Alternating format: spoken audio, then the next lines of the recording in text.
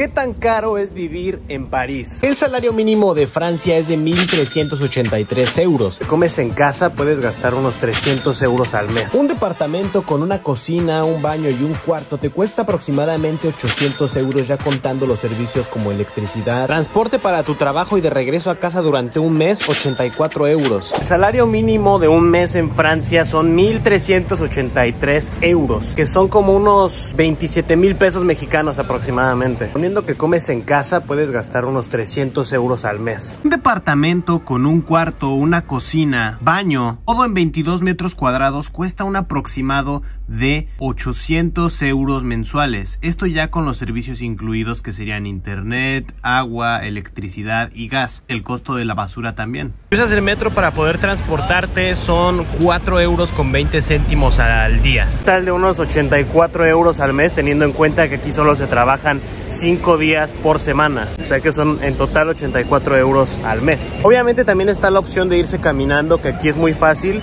pero pues el metro es lo más barato y son 2 euros con 10 por cada viaje, pero ida y regreso a tu trabajo y a tu casa, pues son en total 4 con 20. Un plan de telefonía mensual para el teléfono son unos 20 euros al mes tal vez. Eso ya depende mucho de qué compañía tú quieras elegir o cuánto sea el plan de navegación que vayas a querer. Pero es un aproximado de 20 euros al mes por usar el teléfono, tener datos, tener internet, llamadas y tu propio número. En caso de que no haya lavadora en tu casa, los gastos de lavandería, mémosle también los gastos de higiene personal, serían unos 50 euros aproximadamente al mes. Suponer que haciendo compras inteligentes y que son sumamente necesarias, sabiendo administrar el dinero y demás, son redondos unos 1.250 euros, redondeándolo obviamente. Estos son como 25 mil pesos mexicanos aproximadamente, depende del precio del euro. Pero con 1.250 euros puedes tener tu vida sustentada en París con tu renta y con todo lo que ya les mencioné. 1.250 euros, o sea 25 mil mexicanos. El dinero ya te da y te otorga una forma de vivir bastante digna y de una calidad bastante digna. Hay que tener mucho en cuenta también que es difícil encontrar un departamento, es difícil encontrar un trabajo que te guste y a veces también es difícil cocinar. No sabes cocinar, por ejemplo, es un punto que te va a costar muchísimo dinero en gasto. El departamento pues en cualquier lado es difícil encontrar dónde vivir que se acomode bien. Y pues el trabajo creo que es lo más difícil, encontrar un trabajo que te pague el salario mínimo pues está bien.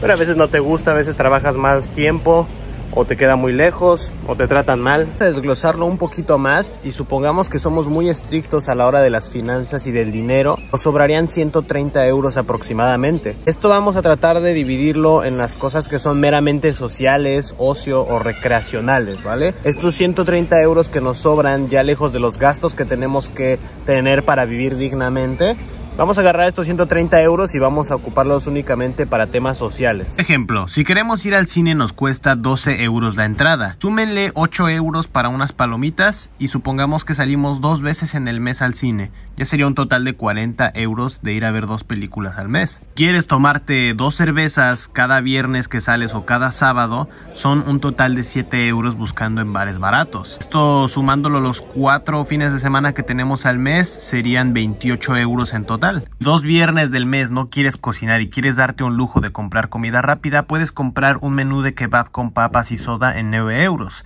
Esto sería, supongámoslo dos veces también para por temas de salud, serían 18 euros al mes en total. Coca-Cola en un día soleado, una lata te cuesta un euro, está bastante bien. Supongamos que también te tomas cuatro en todo el mes y serían 4 euros. Aquí en París todo mundo fuma, así que supongamos que también tienes ese vicio y quieres comprar una cajetilla que te va a costar 10 euros para todo el mes.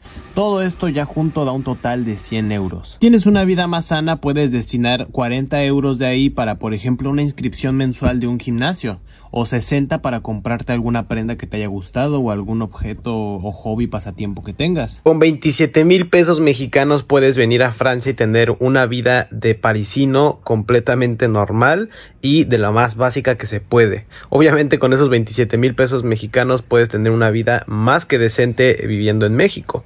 Después haré un video amigos mostrándoles qué se puede hacer con el salario mínimo de México aquí en París, lo cual es una burla completamente. Pero vamos a hacer ese video también en comparación. Así que bueno, recuerden suscribirse al canal hermanos y darle like si les gustó el video, compártanlo con alguien que le pueda hacer falta. Y si quieren más videos de este estilo, déjenme en los comentarios que puedo hacer de contenido para ustedes. Nos vemos en el siguiente, les dejo mis redes sociales en la descripción. Bye.